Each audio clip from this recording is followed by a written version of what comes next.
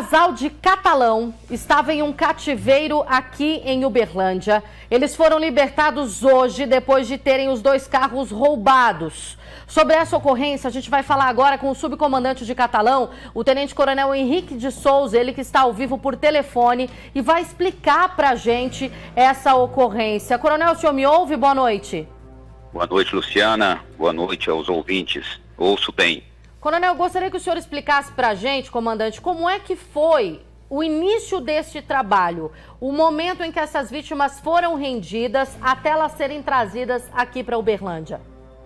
Elas foram rendidas né, dentro da própria residência, né, é, na madrugada, é, final da, no início da madrugada, a, a esposa, assim que saiu para colocar um lixo fora da, da, da residência, ela foi abordada por dois ladrões. Os dois entraram na residência, reviraram a residência levaram o casal e os dois veículos do casal. Ficaram por volta de uma hora e meia na residência. Nós fomos comunicados, a família só descobriu 10 horas da manhã do dia de hoje, isso foi na madrugada de hoje. Então eles tiveram, eles ganharam à frente os, os malas.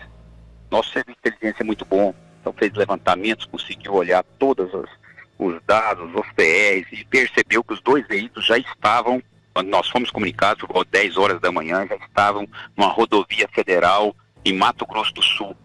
Informamos a Polícia Rodoviária Federal para nos apoiar e assim foi feito. Lá recuperamos e prendemos os dois autores, recuperamos dois veículos. E nesse interim, eles foram, né, a quadrilha de alguma forma descobriu e liberou as vítimas aí em Uberlândia. Então as vítimas ficaram em cativeiro aí das quatro da manhã até por volta das 15 horas de hoje.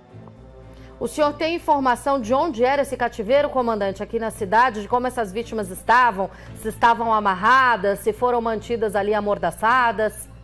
Não, até agora não. As vítimas estão terminando de chegar aqui em Catalão, inclusive vão ser ouvidas pela Polícia Civil, né? Para maiores detalhes, o que eu sei é que estavam vendados, eles não sabem o local do cativeiro. Foram levados, vendados e retirados daí até a libertação, vendados, de olhos vendados.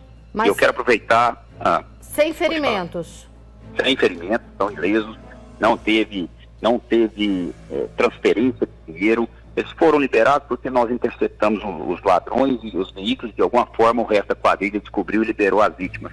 Eu quero aproveitar a oportunidade e né, a abrangência do seu programa e agradecer o Coronel Fernando, que é o regional aí da, da, do Triângulo Mineiro, que nos apoiou totalmente com todo o efetivo da Polícia Militar aí. Então eu quero já deixar os agradecimentos nossos, em nome da Polícia Militar do Estado de Goiás, ao apoio que nós tivemos aí.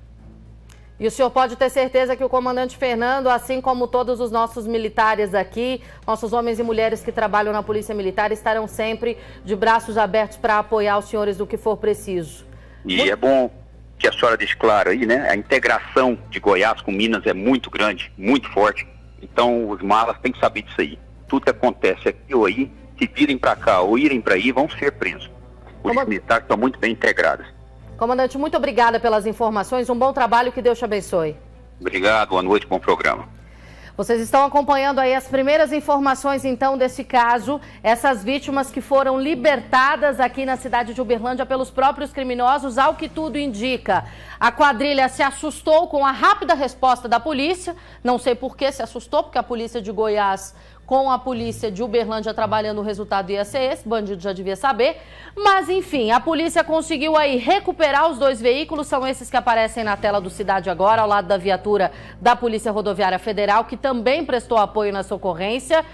E essas vítimas acabaram sendo libertadas. Agora, o trabalho das polícias, que atuaram em conjunto, Goiás e Minas Gerais, é para identificar todos os criminosos envolvidos. Nós estamos falando de uma quadrilha. O real motivo desse crime, a real intenção dos bandidos, se esses veículos seriam repassados para alguém, se eles seriam desmanchados para uso de peças, ainda é muito prematuro afirmar, porque os trabalhos estão acontecendo, como o próprio comandante disse. Essas vítimas saíram aqui de Uberlândia, estão sendo levadas para Catalão, devem estar chegando aí nos próximos minutos na cidade. Aí elas serão ouvidas e passarão por todo o procedimento burocrático. Você pode ter certeza que a gente vai te atualizar dessa história aqui na programação de jornalismo da TV Paranaíba.